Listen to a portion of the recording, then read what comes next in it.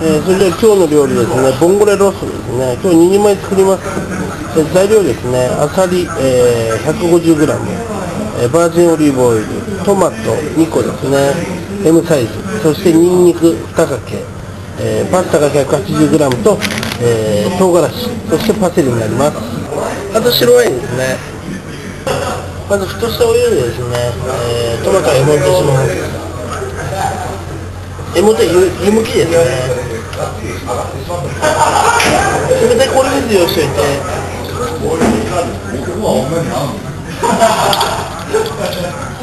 えー、ペロッとむけむけてきたらもう OK ですね。えートマトですね、ザクザクっと大きめにあ粗く切っといた方がいいですね。この状態にしておきます。2つともですね。まず一番初めにオリーブオイルにニンニクで、えー香りをつけます。えーいい色ついてきましたね。そしたらそこに、えー唐辛子ですね。入れて、えーパセリ。火の香りつけます。あさり入れますね。あさりを入れましたら、えーすぐ白ワイン。この火から外しといた方がいいです。あのー火を出しちゃうと香りが、えーついちゃいますね。このまま。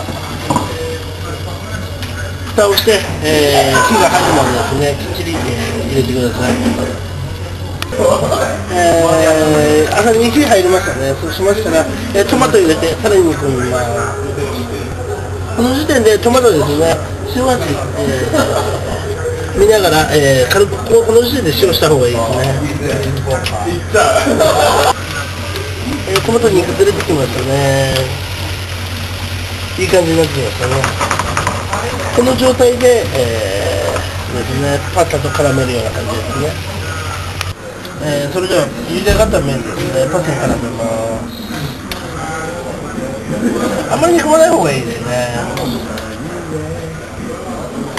この方が食感がいいです。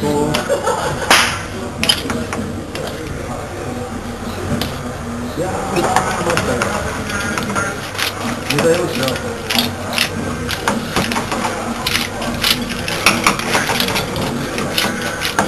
塩味の具合を見まして、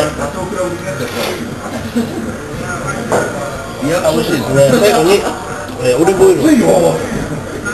たっぷり。見ます。完成です。どうも。どうも。どうも。本日はこれな、どういうパスタなんだろうこれはですね、ボンゴレ、アサリのトマトのパスタですね。はい。島田でバカの。そうですね。それではどうぞ。あ、ケンちゃん、ケンちゃんあ、から。ケンちゃん貝好きですよね。貝好きですね。え、いつもどこら辺にいる貝が好きなの？の周辺に生息してる貝が好きですね。アワビとか赤貝とかそういう感じの。大好物。ちょっと下品ですね。あーすいませんすいません、私の振りが回ってかった。お下品だったんですかね。いやいや、そんなことないです。なんであ来るのよ。で、まずはアサリ。アサリアサリからね。アサリさん。慎吾さんはどんな貝が好き貝ですかあんま貝好きじゃない。あ、マジですかすいません、なんか空気読めなくて。あ、うん。いやどうぞ。あ、アルデンテ。しかもこの中面に、中面に絡むソース。カメラ目線で。パナイ。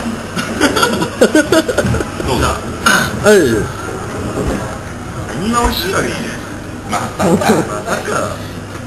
パナイパスタなんじゃないよ。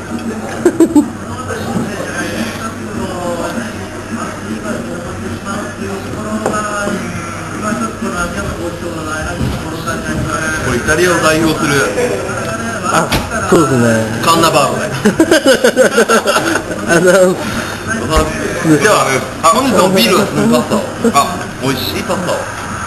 ごちそうさまでした。ごちそうさまです。いただきます。いただきます。